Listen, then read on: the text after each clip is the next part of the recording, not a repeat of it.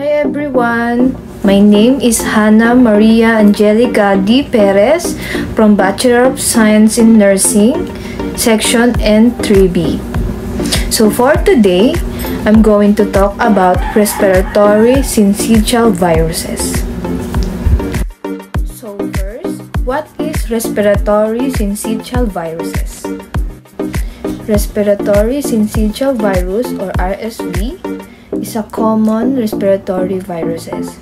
It usually causes mild cold-like symptoms, but it can cause serious lung infections, especially in infants, older adults, and people with serious health problems.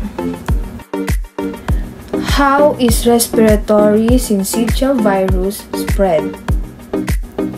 RSV spread from person to person through the air by coughing or sneezing. Direct contact, such as kissing the face of the child who has RSV, touching an object or surface with the virus on it, then touching your mouth, nose, or eyes before washing your hands. So next, who is at risk for respiratory syncytial virus infections. RSV can affect people of all ages, but it is very common in small children. Nearly all children become infected with RSV by the age of 2. So here is a certain people who has a higher risk of having a severe RSV infection. First, infants, older adult, especially those age 65 and older, people with chronic medical condition such as heart or lung disease, people with weak immune system. So next, what are the symptoms of respiratory syncytial virus infection? The symptoms of RSV infection usually start about 4 to 6 days after infections. They include runny nose, decreased appetite, cough, sneezing, fever, and wheezing. These symptoms usually appear in stages instead of all at once.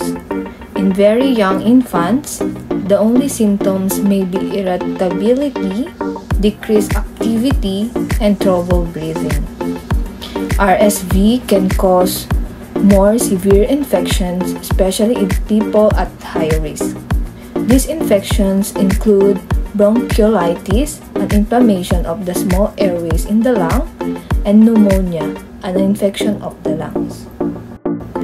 What are the treatments of respiratory syncytial viruses? There is no specific treatment for RSV infection. Most infections go away on their own in week or two.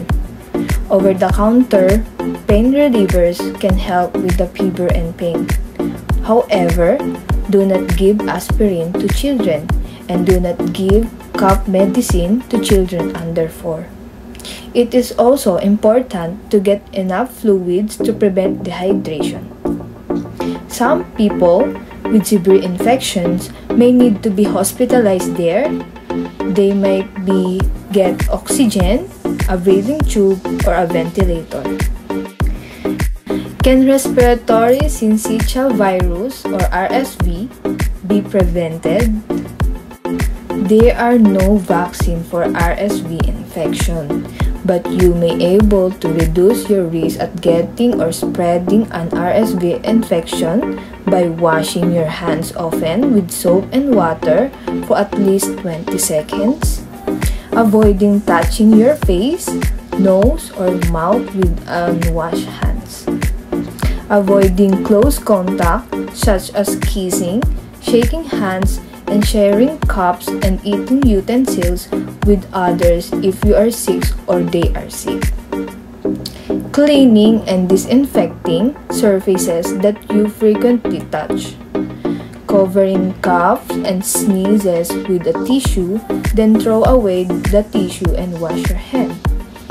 Staying home when sick. So, that is for today, guys. Thank you so much for listening. Again, I am Hannah Maria Angelica D. Perez. Bachelor of Science in Nursing from Section Entry B. Thank you so much, guys!